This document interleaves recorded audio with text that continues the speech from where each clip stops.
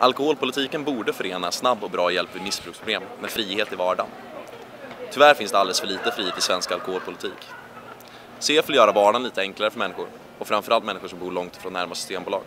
Det här vill vi göra på tre sätt. För det första borde Systembolagets öppettider förlängas. För det andra borde butiker med licens få sälja alkohol.